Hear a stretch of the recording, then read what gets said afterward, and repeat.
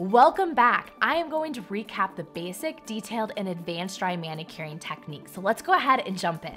Okay, so I wanted to show you a different type of cuticle. My last model had beautiful nails, but sometimes they're just not as let's just be honest, not everybody has awesome nails. But my client here, I wanna do the same exact thing and show you guys exactly how, what great results you can get from the advanced. So I'm gonna ask my client, how does this feel? Feels fine. All right, so what I'm doing is I'm just making sure, like, and see, you can see her nails are already, you can see that pocket. See how my pusher is getting right underneath? I call that nice and floppy.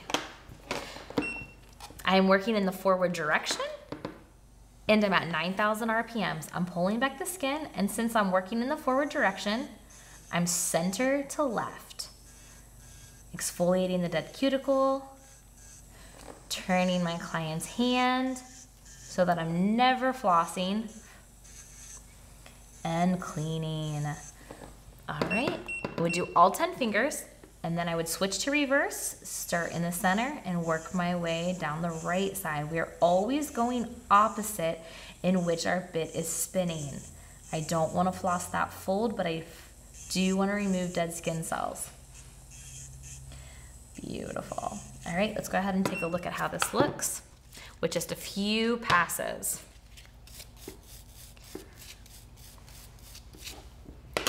Super clean. I did that with a micro taper, but you can do the same thing with a cuticle skiver.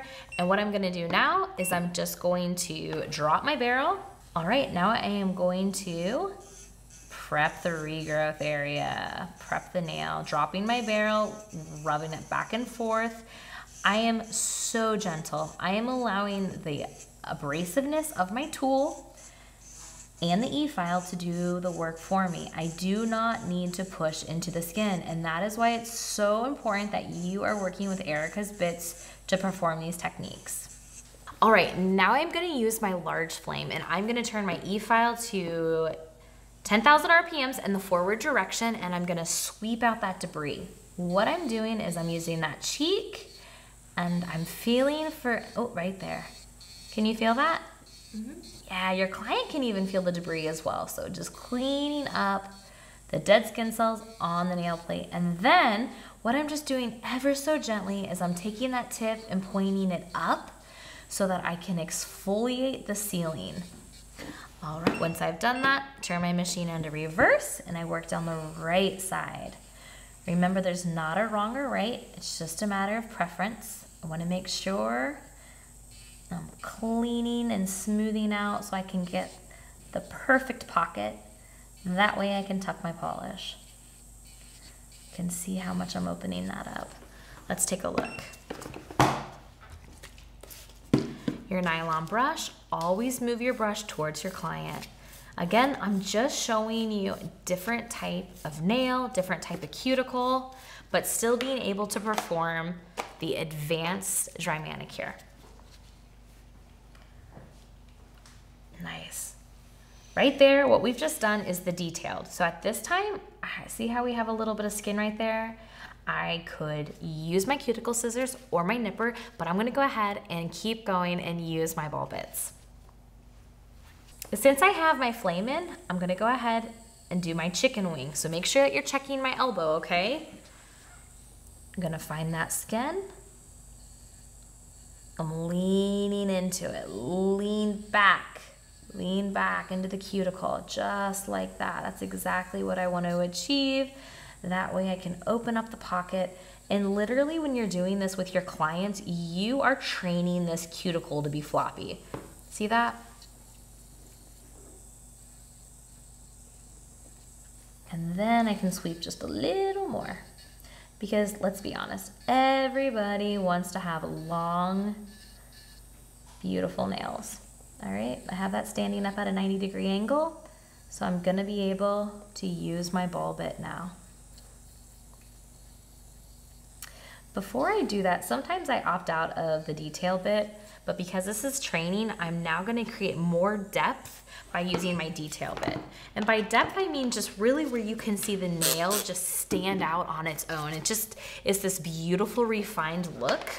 It's not only popular, but it also sets you up for success because you're not fighting against any dead skin cells which cause lifting. When we remove them all, all the dead skin cells in this area, what does the gel or product have to grab? And since I'm in the reverse direction, 12,000 RPMs, I'm flossing. And then I'm pulling. Ooh, see that? That was awesome. You wanna make sure you're not just using the point, but use the whole barrel.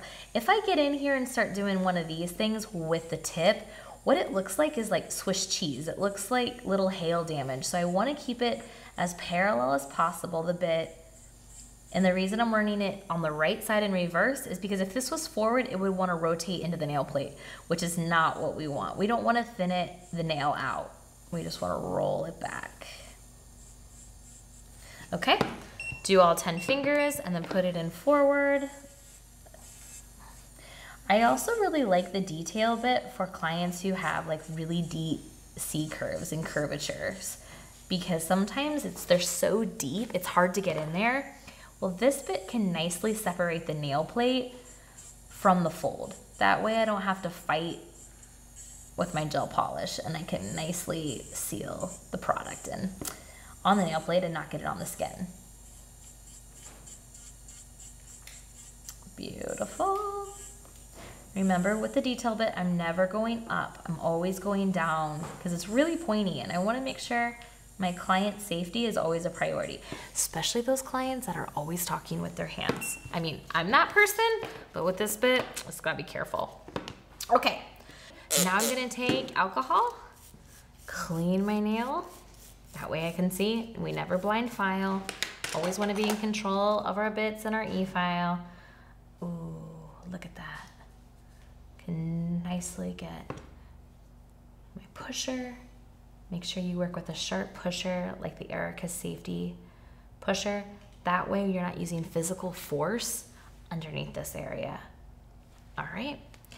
Now that the cuticle is standing up, we're gonna switch to our ball bit. You can either use fine or medium, just depending on the type of cuticle. And really, I can't give you like a rule of thumb with that. It's really just trial and error. If you have somebody that's really sensitive, always err on the side of caution. And right now, I'm just thinning out the skin right here. That's a little calloused, softening it.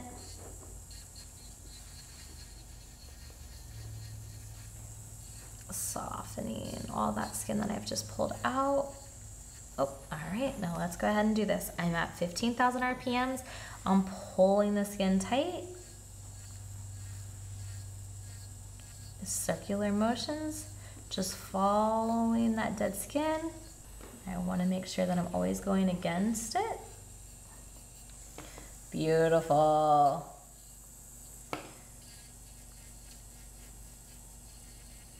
Make sure you continue to move the bit. We're working at high RPMs. That way that dry skin is just lifted right up from the abrasiveness of the bit. Wonderful.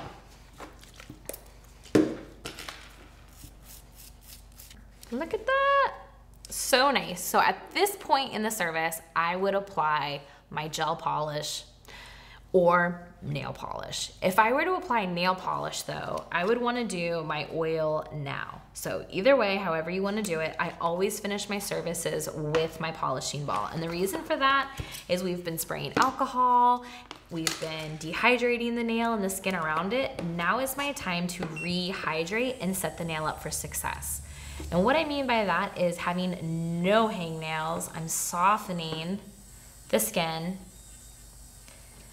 and that roughness, that the abrasiveness that I was exfoliating with, now I'm just smoothing everything down. My last pass is always down because that's the natural way the skin grows.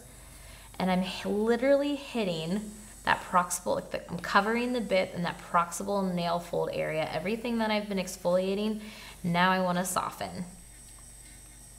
Some people, oh yeah, that's exactly what I love right there exfoliating, working that skin so it's nice and smooth, pulling, pulling, pulling. Okay, so if this was now my polish, I would wanna make sure that I'm using alcohol and acetone and really scrub up the oil off of the nail plate before applying my base coat and my color. If it was gel polish, then I wouldn't have to worry about it. That would just be my last step. But because polish doesn't dry quickly, I wanna make sure I do that and push back. And there you have it, that's it.